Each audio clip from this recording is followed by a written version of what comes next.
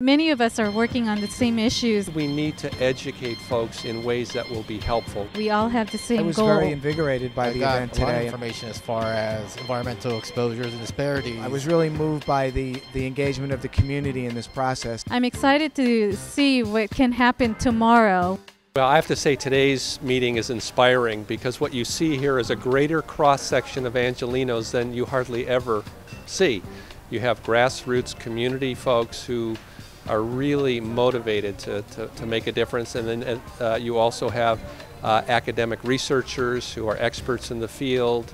Uh, you have public health department staff that are also engaged, and this is truly a partnership. And that's really what it's going to take to, to address a complex issue like air pollution, where uh, action needs to occur at multiple levels. We need to take action at the local level, but also at the state and the, the federal levels.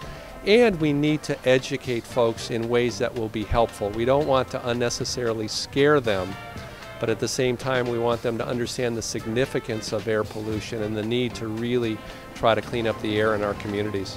We're also looking at the local public health system, and uh, some of you have completed our survey, uh, which looks at the 10 performance areas from monitoring uh, health conditions to actually reporting them, to educating the public, and a number of other uh, factors. Today's sessions were really valuable because we had people from both communities, we had people from the communities themselves, the health departments, community organizations, academics, and we're all sitting at the same tables.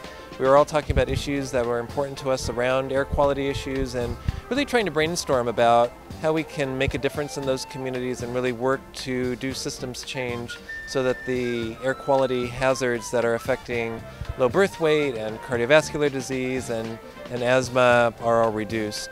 Yeah, I think the policy challenges are that uh, there are a number of different pollutants, there are a number of different sources of air pollution, and so there are many different things that need to be done all at once, and there's no single regulatory authority. In some areas, it's the federal government, other areas, the state government, and in other areas, uh, the local air quality management districts. I got a lot of information as far as environmental exposures and disparities to uh, health outcomes. So I felt that it was very rewarding for me to be here today.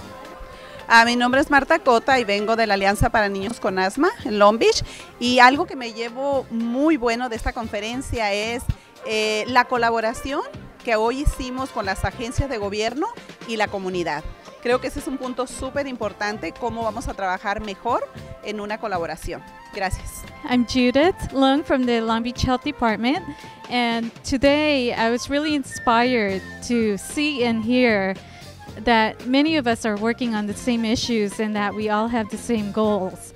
I'm excited to see what can happen tomorrow when we all put it into action. Well, I learned about a new program that the EPA is starting uh, that has to do with the impact of air pollution on cardiovascular health, which is something I didn't know. And I also learned about the uh, involvement of the community in this effort, which I think is very, very significant and substantial. I'm the president and CEO of St. John's Well Child and Family Centers, which is a network of federally qualified health centers and school based clinics that provide medical, dental, and mental health services to about 140,000 patient visits a year at 11 sites in South Los Angeles. I think what was potentially new here is I think a lot of people really got it maybe for the first time about the joint problems of cardiovascular disease and low birth weight. We had some excellent presentations that talked about those risks, and then people put that together with what they already knew about asthma, and I think we'll have a, a really potent group going forward.